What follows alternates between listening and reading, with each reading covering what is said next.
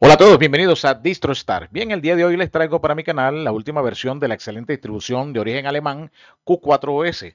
Cabe recordar de que esta es una distribución Linux de escritorio basada en Debian, diseñada para ofrecer una interfaz de usuario de estilo clásico. El proyecto Q4OS ha publicado una nueva versión Q4OS 5.6 que incorpora un generador de perfiles de escritorio y algunas mejoras en el instalador del sistema Calamares. El anuncio de lanzamiento de la distribución eh, dice lo siguiente, el proyecto Q4S se complace en anunciar la sexta actualización de la edición estable Q4S 5, el nombre que, de código Aquarius.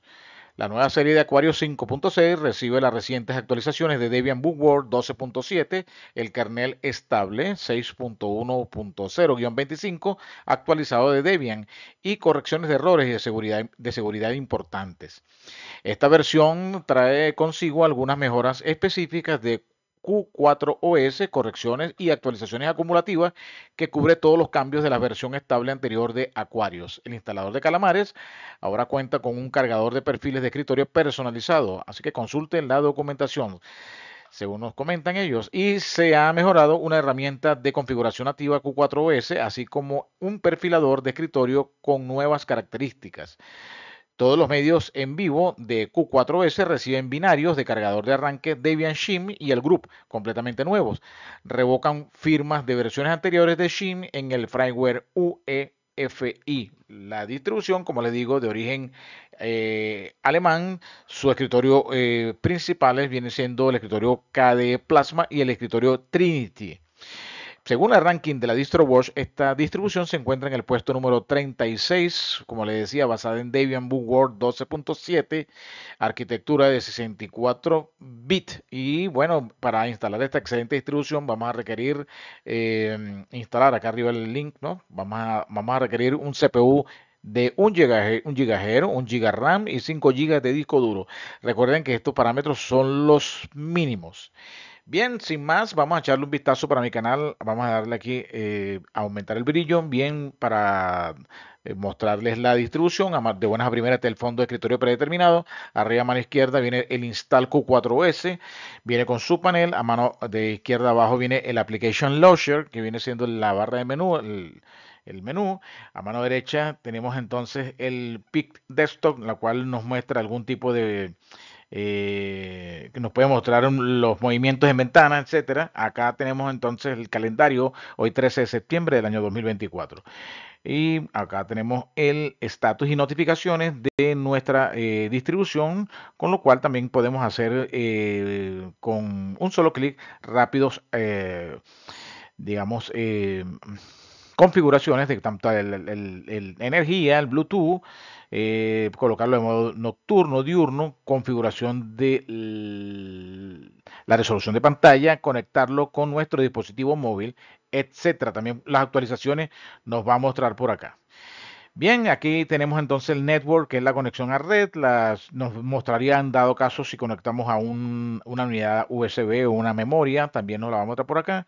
Y acá tenemos entonces el control del volumen y el micrófono. Además podemos ir directamente a configurar todas las aplicaciones referentes al sonido.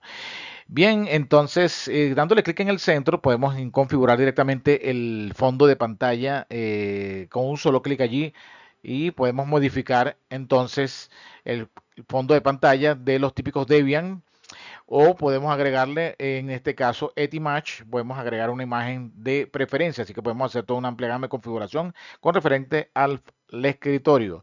Eh, también dándole clic allí podemos configurar el display, muy importante colocar la resolución de pantalla en dado caso que no la haya reconocido. Recuerden darle clic acá donde dice resolution y colocamos, en mi, caso usa 1920 por 1080, le, vamos a decir apply y aceptar, mantener, ¿no? Bien, nuevamente clic derecho allí en el icono, podemos refrescar, agregar un, widget, agregar una, una, aplicación al panel acá abajo, etcétera, ¿no?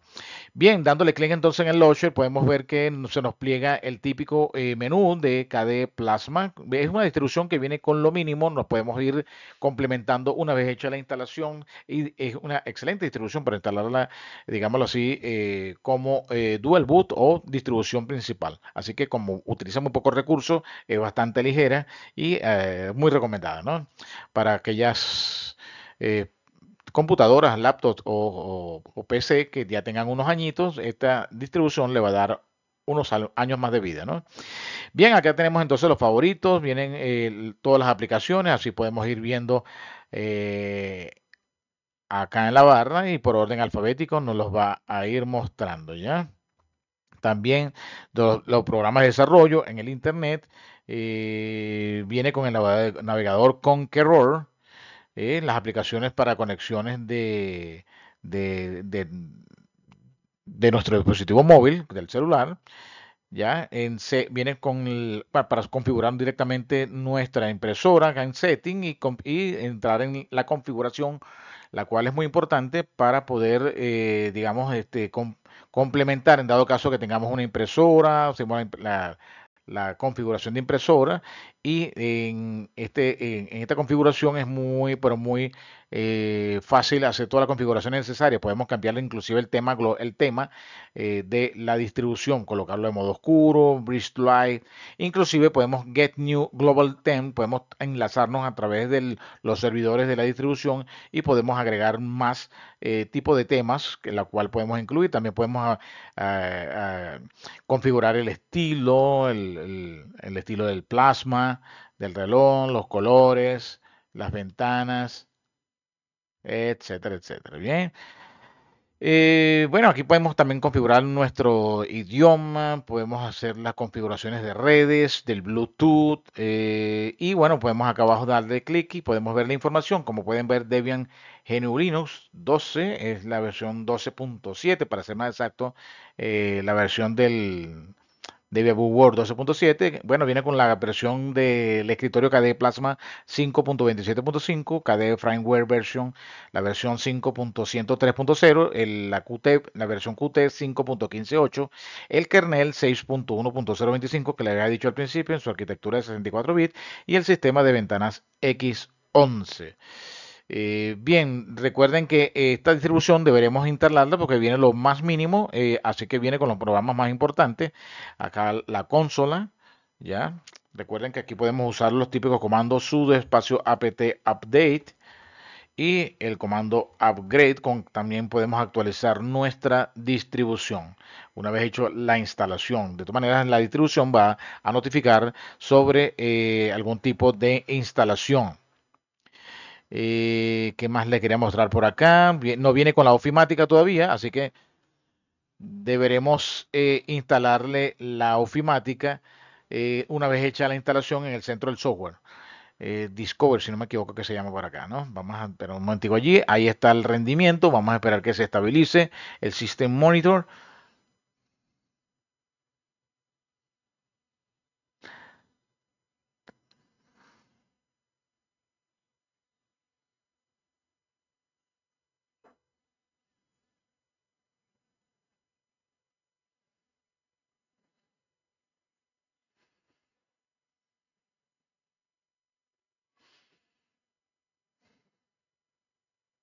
Ahí se está estabilizando, el, donde dice acá CPU a la mano derecha.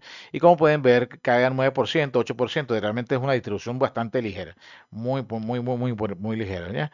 Vamos a buscar acá entre los programas, el, en All Programas Discover, si no me equivoco. Discover. Ah, no, no es Discover. Discover. Ajá, software. Install Application Q4S Software Center. Dándole clic allí podemos acceder entonces al Software Center una vez hecha la instalación de la distribución y con a través de él podemos información de Software Center. Bueno, tenemos que hacer la instalación para poder acceder al máximo y poder obtener todas las aplicaciones que necesitemos incorporar. Pues fíjense bien, aquí tiene ya los navegadores disponibles. Tiene por acá disponible el eh, el LibreOffice, en el cual podemos bajar la ofimática, el VLC, Media Player, multiformato, ¿ya? Así que podemos ir incorporando las aplicaciones y podemos personalizar nuestra distribución a nuestro gusto. Eh, bien, acá tenemos entonces el Dolphin, el Dolphin de la carpeta. Recuerden que también podemos a través de apariencia cambiarle los colores, el contorno, el, tipo de ventana, etcétera, etcétera, ¿no? Y es muy fácil, ¿verdad? Que es muy fácil de usar. Eh, bien, el navegador, ah, viene con el navegador Chromium, según estoy viendo por acá en internet. Vamos a abrir el navegador Chromium y ver la versión del navegador.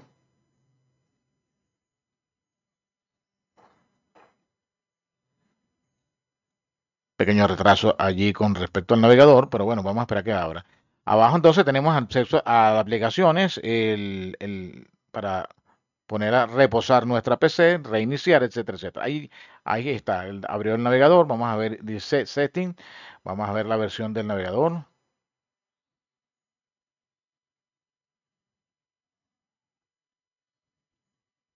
¿Ya? ¿Cómo quedas allí? About Chrome, perdón. Bien, la versión del Chromium sería la versión 128, aquí está, 128.0.6, perdón, 06613.113. Eh, sí, desarrollado en Debian Bookworld, ajá, 12, ok, muy bien. Ya, así que bueno, ahí está la distribución, de verdad que está muy, pero muy fácil de usar. Recuerda que acá tenemos un buscador y aquí tenemos el acceso a eh, directamente al, a configurar nuestro, nuestro, nuestro panel, ¿no? Abajo, ¿no? Así que, bueno, todo está a través de este menú bastante contextual, dividido en dos, el cual podemos, como pueden ver, bajando por categoría e irle a través del centro del software, ir incorporando entonces las aplicaciones para ir complementando nuestra distribución.